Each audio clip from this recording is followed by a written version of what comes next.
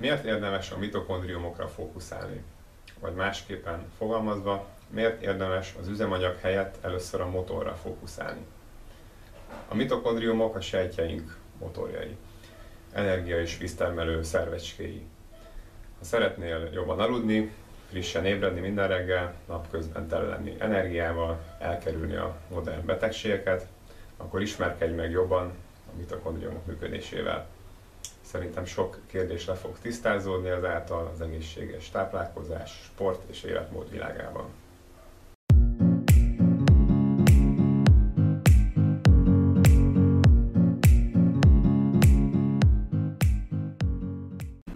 A mitokondriumok egyik fő feladata kvantumbiológia vagy biofizika szempontból, hogy távol tartson minket a termodinamikai egyensúlytól, más néven a haláltól. Minél több és jól funkcionáló mitokondriumunk van, annál inkább késleltethető ez a folyamat.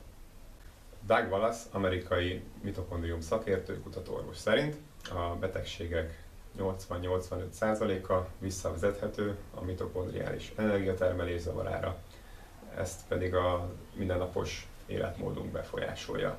Tehát itt jön képbe, amiről már beszéltem, a cirkadián ritmus, fénykörnyezet, táplálkozás, légzés, sport szerepe. Ebből a szempontból nézve az állandó fáradtság, rossz kedv, motiválatlanság, túlsúly és más anyagcsere problémák mind visszavezethetők az alulműködő motorra, azaz a mitokondriális funkció zavarára. Mi lenne, ha a tünetek kezelése, az például a jobb üzemanyag vagy adalékanyagok használata helyett először inkább egyenesen a motort szervizelnénk meg. Ebben óriási segítség lehet, ha először rendbe hozod a cirkadián ritmusodat, fénykörnyezetedet. Éjszaka zajlik ugyanis a mitokondriumok regenerálódása a melatonin hormon segítségével. Sajnos már tudjuk, hogy a melatonin hormon szintjét a mesterséges kék fények csökkentik. Ha évekig, évtizedekig nincs megfelelő regeneráció az alvásnál, akkor miért várjuk el, hogy rendesen működjön a motor? Bármilyen üzemanyagot is tankolunk be. A természetben és az élővilágban napszaki és szezonális ciklusok figyelhetők meg, csak a modern ember szeretne egy állandó, kényelmes környezetben élni.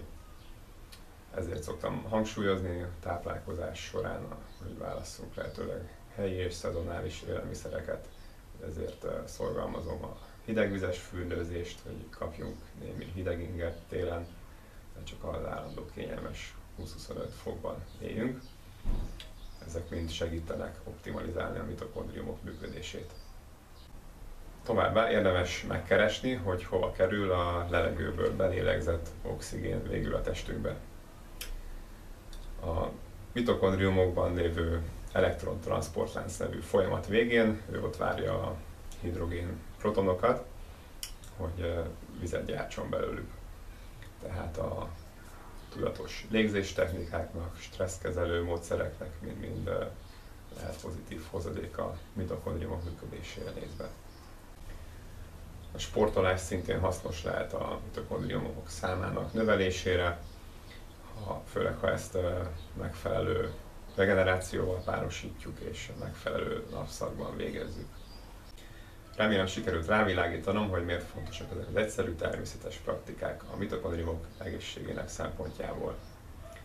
Jól teszed, hogyha reggelente nézed a napkeltét, minél több időt töltesz kint a szabadban, este csökkented a mesterséges fényeket, blokkolod a kék fényeket, odafigyelsz az alvás környezetedre, odafigyelsz a táplálkozásodban, helyi szezonális ételek fogyasztására, tengeri ételek bevitelére. Sportolsz, végző gyakorlatokat végzel, és megismerkedsz a hideg fürdőzéssel. Ezek mind-mind segíteni fognak, hogy optimalizáld a mitokondriumok működését, hogy sokáig jó erőben és egészségben tartsanak. Köszönöm, hogy velem tartottál, következő videókban is remélem, és addig is jó motor rendbehozatalt és tuningolást kívánok.